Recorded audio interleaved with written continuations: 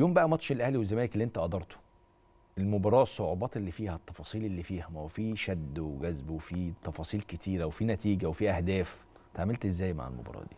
لا هو بصراحة اللعيبة كانت ملتزمة جدا كباتن الفرقة شيكابالا ومحمد الشناوي وإحنا في الممر.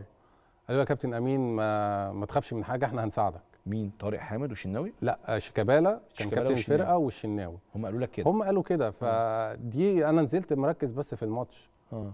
اللعيبة نفسها مركزة في في الماتش مش مركزة مع التحكيم مش مركزة في أي حاجة غير اللي هم يلعبوا كورة دي جملة عظيمة أصلا فده آه طبعا أنا أول مرة أسمع الكلمتين آه. طبعا لا مم. حتى البنا ماتشه الماتش بتاعه نفس الكلام محمد آه. عادل نفس الكلام هايل اللعيبة نفسها والأجهزة عظيم، آه. الفنية آه. بتطمنك آه. لأن طبعا كانت أول مرة وأول تجربة للحكم المصري حاكم أهلي وزمالك آه. في الدوري منذ فترة كبيرة فهم طمنونا اللي انت العب وما ما تخافش من حاجة يعني. إحنا مش هنعمل لك مشاكل. صحيح. فطول ما اللعيب نازل يركز في الماتش بس هتبقى اعتراضاته قليلة. مم. انت كحكم هتركز في الماتش بس مش هتركز بقى السيناريو. إيه آه, هتديله حقه.